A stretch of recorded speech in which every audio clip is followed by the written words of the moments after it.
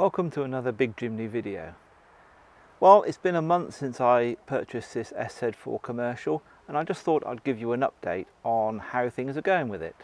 So let's deal with the problems first. I've had two issues with it. When we first bought it we had a TPMS issue. This turns out to be something that is common across the SZ4 commercials at the moment and is to do with the updating of the software in the dealer systems.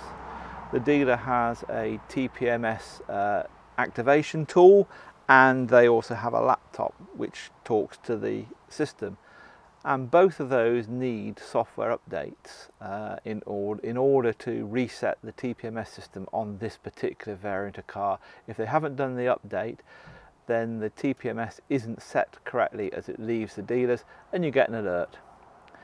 So it took me a couple of days to sort that out with my local dealer and eventually we got the whole of the system reset and everything is now just fine. However, in doing that I've learned a lot about TPMS systems and in fact I'll produce a separate video fairly soon that takes you through the tyre pressure monitoring system in a bit more detail. The other more minor issue I've had is the radio. The radio, when I was driving along uh, the other day, suddenly switched off on its own and then two seconds later switched on again. And at that point, the memories in the uh, recorded in the tuner, the tuner memories to press the buttons to select the channels, had all been set to empty. So I'd lost all of my programming. And the radio still works. I've just readjusted it and reprogrammed them today. It's working, but there was this mysterious reset that occurred. So I've yet to follow that up with anyone. I'll keep my eyes open for bulletins on the Suzuki uh, dealer website to see if there's a known problem with this particular radio resetting. So what about the driving experience? So many of you know that we've actually got uh, an SZ5 as well, uh, one of the new 2019 SZ5s, and this one is not dissimilar. Okay, the specification is slightly lower, but it turns out that it's a, a nice car to drive. It's very fun. Um, I particularly love it, to be honest with you. Uh, our little mule that is being used to carry stuff around. We've done a couple of longer trips on it. I've taken it down to the coast and back, which involved a 50 mile return trip on the motorway, and it handles the motorway just fine. I know a lot of reviewers say uh, they are not very good on the motorway, but I suspect that that's because they haven't driven such a small car uh, in a long time and a car that's based on older technology. For me, it was fine. It sat at 65 on the cruise control all the way there and all the way back without any trouble at all. Uh, and it's not a bad drive. Now I'm just under six foot tall. I know there have been some reports of the seating position uh, affecting some people because of the partition. Well, it doesn't affect me, it's just about right. The seat position is, okay, it's right back against the grill, but it's about the right position for me. And I was happy to do that uh, probably one hour, 15 minutes, maybe 90 minute journey uh, there and back without any problem at all. So in terms of seating, it's pretty comfortable. Of course, around town, it's just exactly what we like, a small car, nippy, parks easily. And I particularly really do like the fact that it's a van. Um, before I bought it, uh, I was doubtful, to be honest with you, about buying a van. Uh, it seemed alien to me, but we know from the SZ5 that we spend all of the time with the seats down in the back, and therefore this one, with its continual open space in the back, is just great. Shopping goes in and out, as you can see here. The dogs have their dog bed in it when they want to, and we can take them for walks. It's just ideal. So for me, it's the perfect little uh, runabout shopping car that can just occasionally stretch its legs a little bit longer. So those of you who have been watching the video will also know that I have been doing some modifications to the vehicle over this month. So let's just take a walk around and see what I've been doing. As you know, it is my aim to try and bring it up closer to the SZ5 specification over the weeks. Um, but as well as that, just do some cosmetic upgrades to make it my car, as, as they say. Starting around the front, you will have seen some pictures and videos that I have bought the Urban Pack, which is a pack of accessories uh, with which to sort of uh, improve or change the look of your car. So the Urban Pack consists of the front grille here, so you can see we've changed the front grille This was a simple bolt-on uh, clip-in job and I've got a little video on how that is done uh, at the top of the screen. Within the Urban Pack you also get this front garnish, this silver garnish. Um, now I've fitted that also to our SZ5 so there's a previous video on how that one fits. Again, it's at the top of the screen now.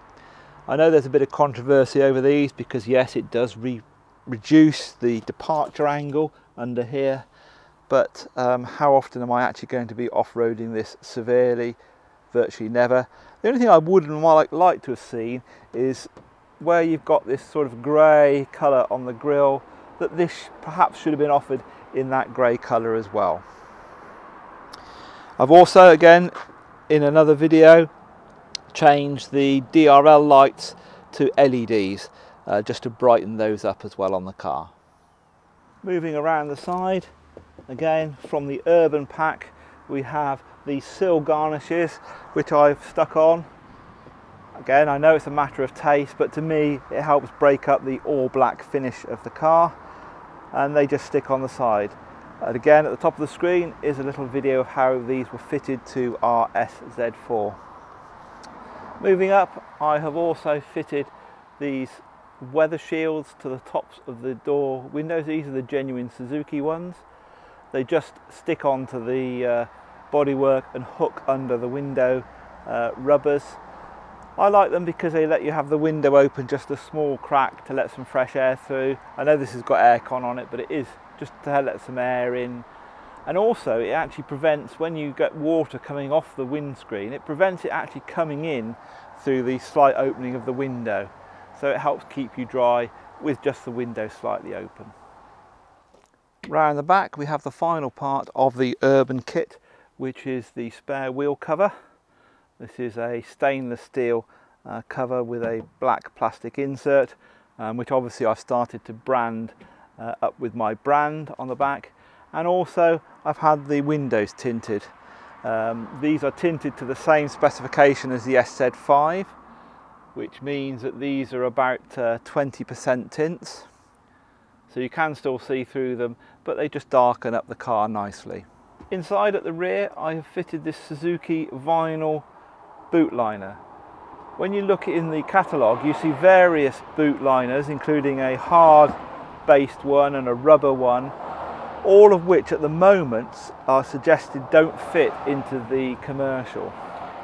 The vinyl one, which is again aimed at the older SZ5 version, doesn't say that it doesn't fit and because it's vinyl and soft I guess that it would fit and as you can see it does fit in quite nicely. It ties along the partition screen at the back and it velcros into the side panels and produces a nice way of protecting your load space. You'll also see that I have fitted this garnish here to stop the dog's paws scratching the paint but the internal boot liner does come with a flap anyway which comes down over there so that things being loaded in and out uh, don't uh, scratch the car.